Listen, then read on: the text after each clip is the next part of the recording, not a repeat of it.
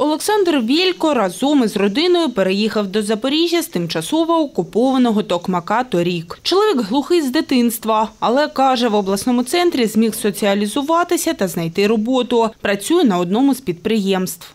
Спочатку не зразу на роботу. Після року він тільки поступив на роботу, пішов. Олександр згадує, в перші дні повномасштабної війни в Токмаку не було ані електропостачання, ані води. Задля безпеки своєї родини навесні 2022-го відправив дружину та доньку на підконтрольну Україні територію. Сам же залишився у рідному місті. Рядом попали по дому сусідку, стекло розбилося, а їхній дом поки що не зачепило були. Продукти там скуплялися, бо дуже черга велика, важко було. Жінка з дочкою виїхали, а він залишився. А потім уже пізніше він поїхав. Дружина із дочкою, як виїжджали, за ну як це виходить, як кордон уже між нами і Росією. Вони там три дні чекали, перевіряли їх, поки ваш вони могли вже сюди прибути у Запорожжя. Має вади слуху і переселенка з Бердянська Ольга Данилюк. Жінка нині живе в Запоріжжі з чоловіком та свекрухою. Згадує, виїхати сюди було складно. Якщо інваліди, вони мали право поза чергу трохи, тому вони очередь, ну, 10 машин,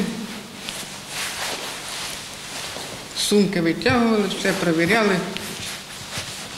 Ну, Ще з однією жінкою приїхали. Як перевіряли сумки, питають, ви не чуєте? Вони кажуть, ми не чуємо. А ну тоді не треба.